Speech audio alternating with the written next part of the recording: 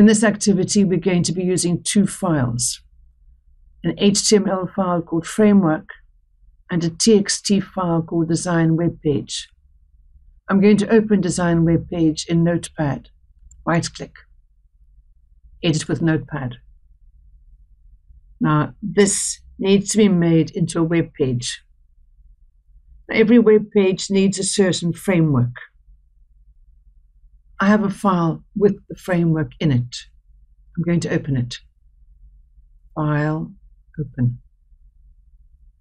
There's the file.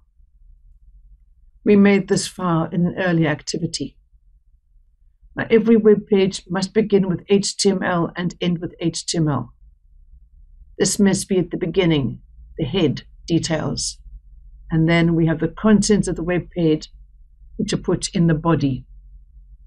Now, this needs to be in that file. Or this needs to be in the framework file. I'm going to copy this to the framework file quickly. Control C copy. And I'm going to put it there in the contents. And then I'm going to save this file as an HTML file with the new name, not that name. File, save as.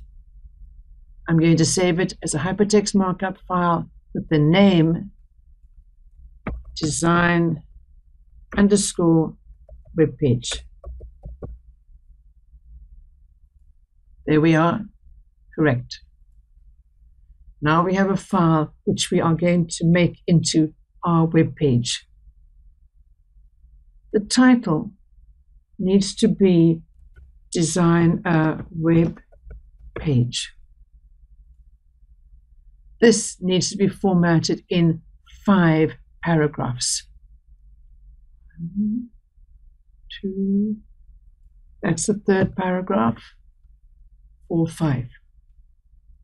I'm going to tab that in just for my sake. It won't display with tabs. Now, every paragraph must begin with the tag P. Must begin with the tag P. It must begin with the tag P. It must begin with the tag P. Every paragraph must end with angle bracket slash P angle bracket. Again, angle bracket slash P angle bracket. Let me just copy that to the end of each paragraph. Correct. Now, some of the text needs to be in bold. This line needs to be in bold. A paragraph needs to be in bold. To make it bold, angle bracket B, angle bracket. And the end of the bold must be angle bracket slash B, angle bracket. Now, some of this text here needs to be bold as well. I'm going to format that quickly. I think I've formatted all the bolds correctly. I'm going to have a look at my page. Run. I'm going to launch it in the browser which I'm using, which is Chrome. My bold looks correct. Now I need to format some of the text as italics as well. I'm going to go back to Notepad.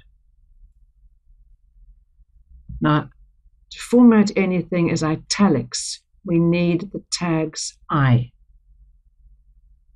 Improve readability. Angle bracket I, angle bracket. The end of the text, which has got to be in italics, is angle bracket slash angle bracket. I'm going to format the rest of the text, which should be in italics now. I think all the text has been formatted correctly. I'm going to save. I'm going to go to my desktop where the file was and I'm going to refresh it. This looks correct. No, there's a mistake here. That should not all be in italics, which means that Something has been left out. I'm going to go back to Notepad. Ah, can you see my mistake here? Improve readability.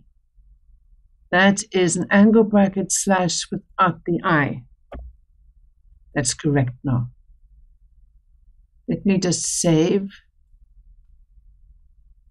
Good. I'm on my desktop now. I'm going to refresh this page and have a look and see if this line is now as I want it to be.